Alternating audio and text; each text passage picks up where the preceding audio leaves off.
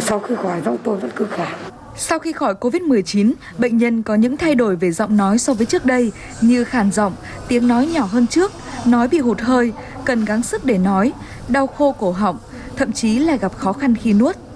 Hiện tại tôi có triệu chứng là không vẫn không vắng ho, họng nhiều đờm và khản tiếng.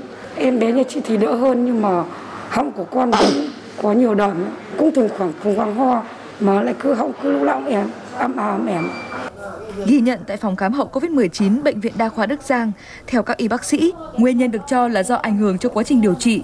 Bệnh nhân có thể tổn thương đường hô hấp trên, thanh quản và vòm họng, đặc biệt ở các bệnh nhân khi mắc bệnh phải thở máy, thở oxy.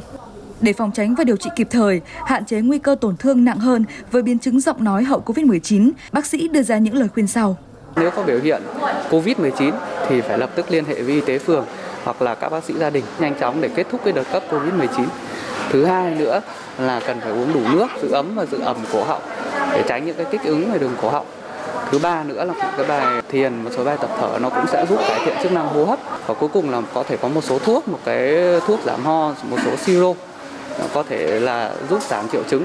Thêm một điều nữa là các bác sĩ không khuyến cáo sử dụng kháng sinh một cách thông dụng và không có chỉ định của bác sĩ.